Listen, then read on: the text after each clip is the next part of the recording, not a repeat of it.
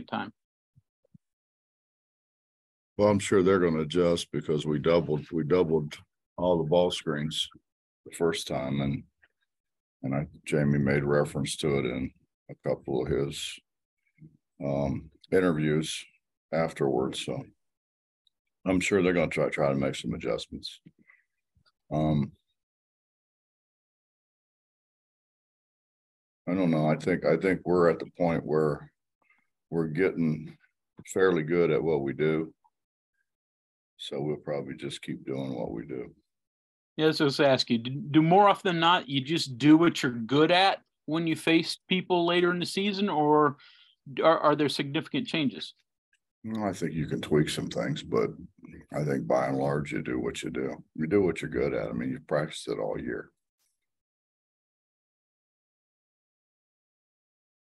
Question goes to Justin Jackson.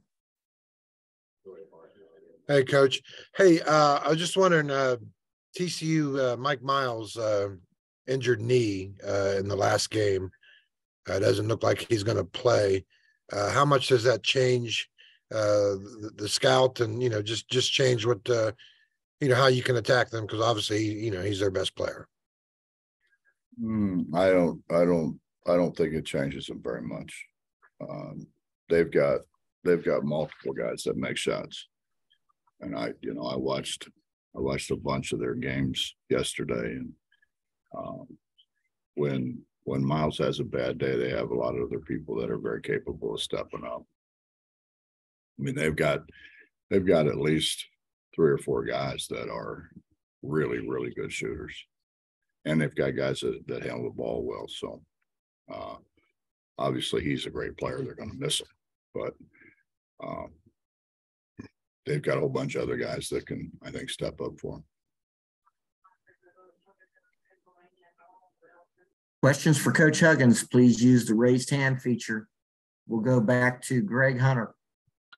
Bob, talk about uh, James Okonkwo a little bit more. You've do- you talked about him a lot, but um, it, for a guy, especially a foreign guy to, who hasn't maybe played a lot of American basketball, how long does it normally take them to, you know, get to where they're you want them to be, and how quickly is he arrived?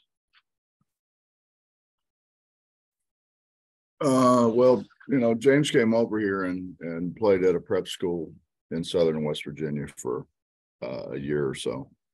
It may, maybe a little bit more than a year. Um, and played for Justin Dempsey and Justin did a great job with him. Uh, I think Justin did. Um, got him, I think, ready. Uh, I mean, you, you can't get him ready for, for what he's involved in now, just the physicality of, of what goes on, but Justin did a great job with him. So, you know, when he came here, he had a, he had an idea. You know, I think the, the, the thing that it took him a while to get used to was, was the physicality, you know, you, you go in there and bang on Jimmy for a while and bang on Mo for a while and, you know, Trey and so forth. I mean, it's a, it's the physicality part of it, I think is what, uh, he he just he he really had a hard time adjusting to initially. I I mean I think he's he kind of relishes it now. Go into the recruitment of him a little bit. The coaches down at Beckley call you and say, "Hey, we got somebody you'd be interested in." How, how how'd you find him and how'd you recruit him? Well, Justin recruited him. Justin recruited him and and brought him over and and uh, Justin sent us some film and and uh, Justin kept saying, you know, he's somebody I think you really need to take a look at. And uh, I think then when when we did take a look at him, obviously he's got great bounce. And you know, then he was he's a lot thinner than than what he is now. Um, but I mean, you could see the the raw potential that he had. So we were we were excited about taking him. Brian Decker. Coach, if we can go off the basketball court here uh, for a second, um, you had your fish fry last weekend. Uh, do you have any update on how much money was raised and how I guess how successful that was? Well, I'm told it's two million or more. So, um, I, I haven't got, I haven't got the figures yet, but I just, I just talked to Debbie and Debbie had just talked to talked to people that said it's, it's over ten million dollars. What, what's that mean to you too? I guess at, at least for two or three years in a row now, you know, hit that total and do do that um, for those organizations that you've raised that money for. That's why we do it. And we, we, we do it. And again, I, I lost my mother to cancer and to, uh, to sit there by her bedside and, and see my mother struggle through, um, months of, of, of cancer, uh, was a, was a really, really rough thing. And, you know, you just, yeah, obviously you feel bad for all the people who have loved ones going through that.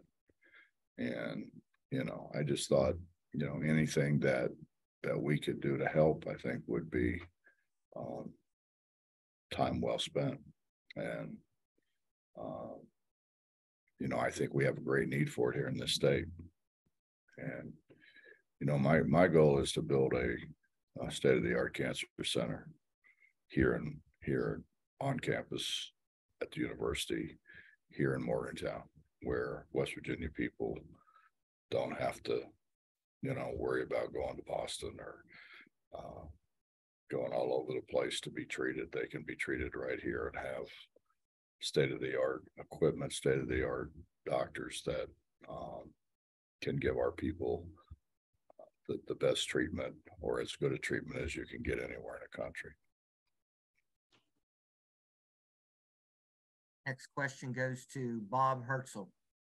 Yeah, Bob, uh, you have uh, a different team maybe than when you started Big 12 play uh, right now. I mean, you've got far more options uh, available to you, it, it looks like. Uh, the option of playing uh, Joe and uh, Keedy together, let's say, uh, playing three guards together, playing uh, down low, playing uh, Jimmy and uh, Okonkwo together. Uh, uh, how is that going to change things? I mean, uh, talk talk a little bit about the options that you have uh, facing you and, and how you will use that.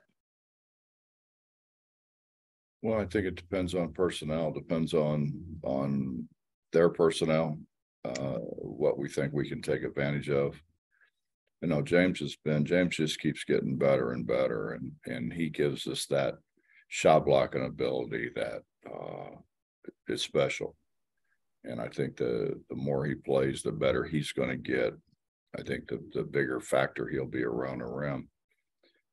But, you know, it's, it's, it's, it's a matter of who's playing well that day. I mean, it's, it's, uh, it, it, it's kind of good to be able to see somebody's, you know, having, uh, not their best day and be able to put somebody in. I mean, I think what we do with, uh, you know, Keedy's been really banged up. Has not, has not been, uh, what Keedy was early on. He's just been, they've, they've, they've really banged him up and, um, Joe's come in and done a terrific job for us. Uh, I- think Eric is, Eric's kind of fine and found himself. Um, You know, he's become much more of a, of a team player. I think his, his understanding of, of where and when he can get shots is so much better. Uh, and then, you know, I, I think, you know, with, with them and Trey, you got two really seasoned veteran guys and, you know, everybody's not gonna play well every day. Trey didn't have a great day the other day and we were still able to win. Uh, you know, Emmett's had some days when he didn't play as well as he's certainly capable of playing, which happens. Uh, I mean, happens to everybody. So to just to be able to have guys off the bench, I think Seth's done a great job for us coming off the bench when other guys have struggled making shots. So it's, you know, it's, I think it's a, it's a luxury to have some guys that you can bring in off the bench that can pick up for some guys that maybe uh, aren't having their best days. You have to feel far more ready to make a run now through the second half than you probably were at the start. Yeah, I think, uh, you know, I, I think in, in the beginning, we were kind of lost. We were, you know, you, you, we, we had guys in the portal, we had, we had transfers, we had, we had freshmen, we had some guys returning, you know, we, we just, we had such a conglomeration of a lot of different people who had been coached so many different ways. And to be able to get all those guys on the same page was really a struggle. And I think we're to the point now where everybody understands what their role is. They understand what they can do. They understand what their teammates can do. And I think that puts us in a, in a, in a much, much better place. But, you know, that being said, I think everybody else has played as many games as we have and they've gone through by and large the same kind of things that we have. Thanks. Kevin Kinder. Coach, following up on your goal of getting that cancer center built, is there a target number where you, you know you would need to get to to start construction? Obviously, you know, looking for support from other places as well. Any idea of what that might be, or um, you know, what your goal would be there? Well, we're looking at a whole lot of different avenues. Um, you know, we've we've had discussions with a, a lot of different people from uh, a lot of different uh, areas. So um, I don't I don't know that anything right now is is definite or set in stone, but I think there are numerous possibilities for us to be able to to get the resources that we need to get to get it off the ground and running. And then you mentioned going back on the court with all the different players that have starting to find their roles you've had different players take the lead, as you mentioned, a lot of positives in that. Is there a negative that, hey, maybe at crunch time or when you need a big bucket, maybe there's not one or two players that are initially looking to take the lead? Do you have to have that, or can the, this approach by group work for the rest of the year? Well, I mean, in in in all honesty, and, and Eric would be the first one to admit this. I mean, he struggled, and we we we tried to we tried to put him in positions where he could win games for us, and and um, and he struggled. And um, you know, I think it was a great learning experience for him. I think he's he's accepted it. He's he's he's come out of it a much much better player, uh, a, a, a much much better teammate as a result of it. And, and I mean, but that, I mean, that happens. I mean, that happens, um, virtually every team, you know, that, that it takes, it takes some people to find, uh, their niche, so to speak. Next question goes to John Antonik takeaway from the um, Auburn game, now that you had a, a day or two to think about it, what was the most pleasing aspect to you about the way your team was able to hang in there and and get a win? We won. That's the most pleasing thing to me, John. I mean, we we we kind of I thought we had um, decent control of what was going on, and then they came back and and they made some shots. They made some hard shots, and then we did some we made some some blunders that kind of led to uh, them getting uh, back in the game. But I, I, mean, I was I was proud of our guys that that we we hung in there. You know, we could have we could have dropped our heads and, and hung our heads and and and not competed. But I think the way we competed down the stretch, that the way we we we found ways, and I mean that's that's what it's about. I mean, when you're when you're when you're playing um, really good people. You you got to find ways to win, you know, and it's it's very rarely ever all the same way. You know, whether whether it's a steal, whether it's a key rebound, um, you know, whether whether it's going to the line and making free throws. I mean, it's it, it, it's a lot of different things, and and we've struggled as as I think everybody knows. We've we've struggled making free throws down the stretch that's something that we've got to we've got to get a whole lot better at. I think a whole lot more comfortable with. One more here. Um, I know uh, last week we talked about the strength of of the Big Twelve, and it kind of played out uh, Saturday with the with the wins that win in the SEC.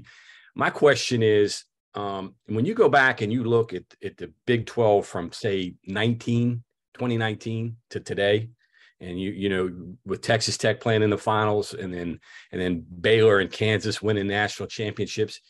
Where do you put this league in in, in terms of um, uh, consistency over the last five years? Would you say it's among the best maybe ever? And I don't want to compare it to the the Big East in '85 when they had three in the Final Four. That's probably the best ever.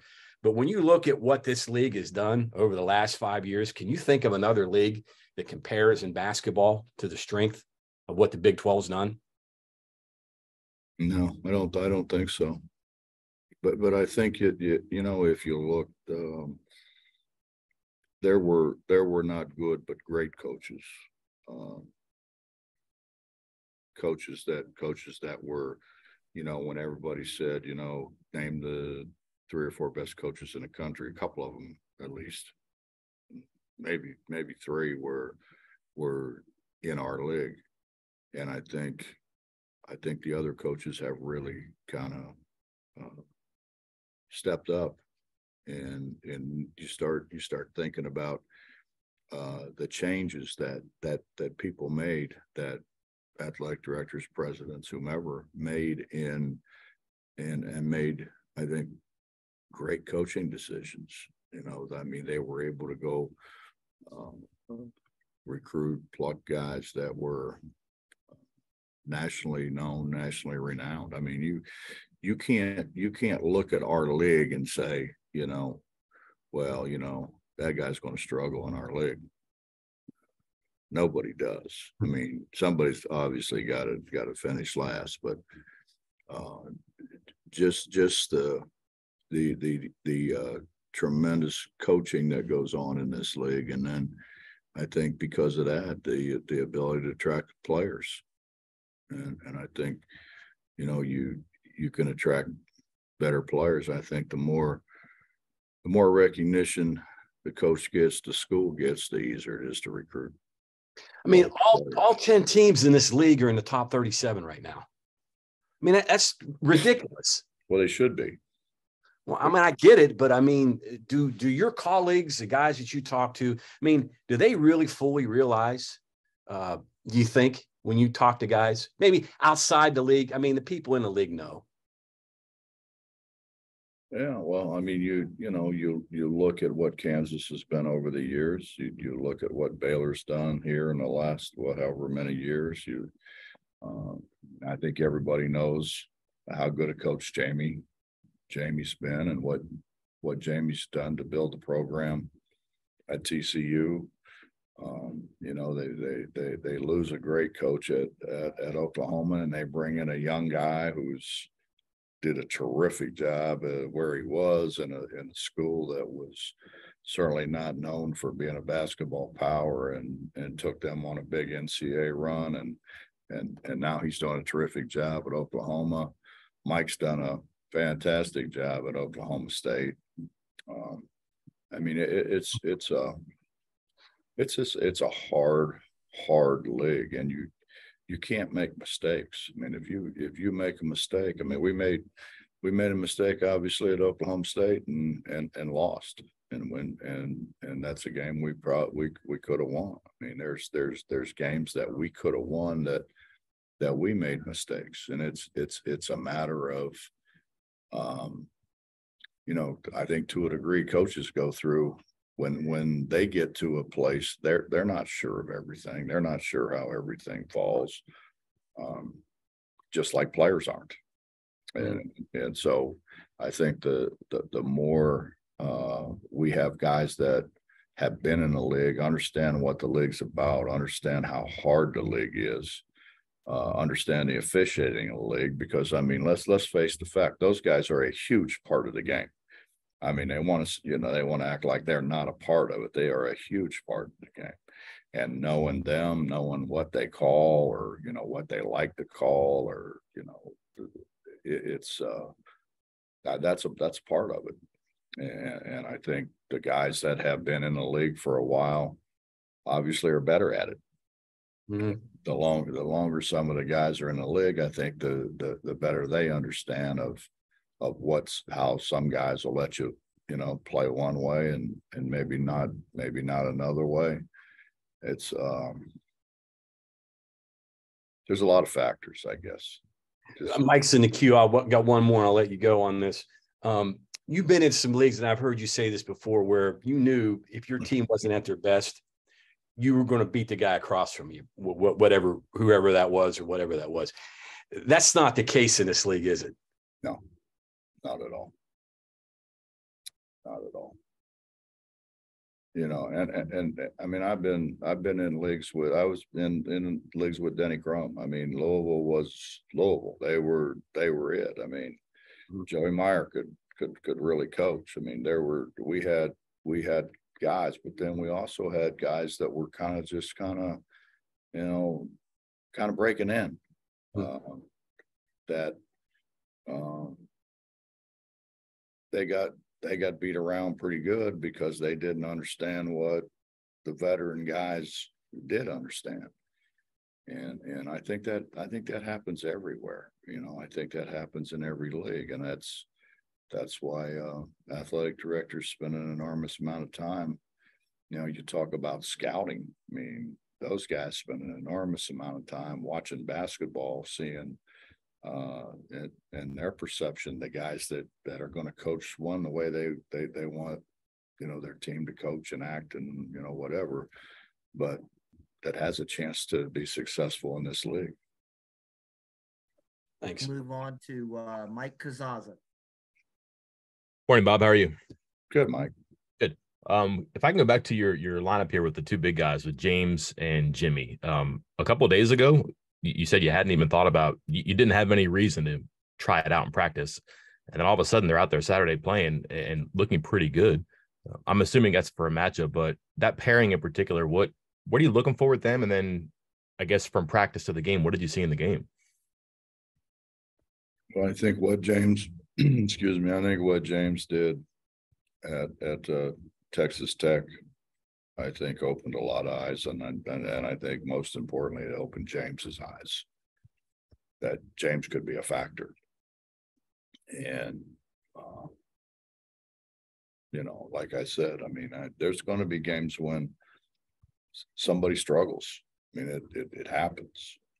The ball just don't go in. I mean, you, you leave it, you leave it a little short, you know, you miss short, you miss long, you.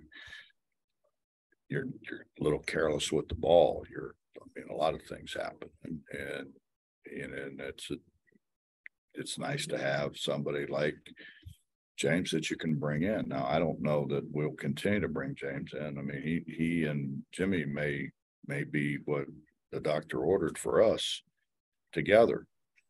Um, but then you take the chance of both of them getting in foul trouble. It's a lot of variables, a lot of variables that you gotta try to sit down and you try to evaluate during, uh, during, during practice as best you possibly can. Could you play Mo with one of those two, or is it only those two you feel comfortable playing together right now? No, we played, we played Mo and, and, and Jimmy together way more than we played uh, Jimmy and, and James together. And then obviously that gives you possibilities in the post, but I would imagine you can float around different players around those two. Again, depending on the matchups too. Is it is it fair to say that the other three guys, the variables there, that's just as much a part of the equation as as those two in that pairing? Mm, What's a, what's a large part of the equation is what do we need? What are people doing? Are they, are they playing a zone? Are they packing it in? Are they daring us to shoot it on the perimeter? Well, I mean, obviously, if that happens, you, want Trey in You want Trey in the game as much as he can, he can be in the game, you know, but on the perimeter, you, you want Seth in the game. You know, if you need, if you need somebody defensively, if, you know, if there's a lot of switching and things going on, you know, you, you probably want Kobe in the game. You know, it's, it's, it's, it's a matter of adjusting to what other people do and what their adjustments to you are. We have time for one last question before practice starts. It goes to Greg Carey. Yep, Bob, the first meeting with TCU, you pretty much handled them on the glass. I think Jamie said after the game, it was, you know, not exactly a, a normal basketball game. How do you translate that physicality and bring that to the road tomorrow? We're gonna do what we do. Um, you know, I, I've got obviously great respect for Jamie and Jamie and I have coached against each other for quite a number of years now. So I think we, we both have a pretty good idea what the other one's gonna do or, or at least what they're capable of doing, so. Uh, we're gonna, we're gonna try to get ready. We know we've watched, uh, numerous tapes. Uh, ha- haven't done anything really but watched TCU since, since the Auburn game's over. And I'm sure Jamie has spent a lot of time doing the same, so. Uh, he'll try to figure out how to, how to change what we did to them and we'll try to figure out what, what they did to us, so. How we can, how we can get better. Okay, Coach Huggins, your practice is starting. Thank you for your time today.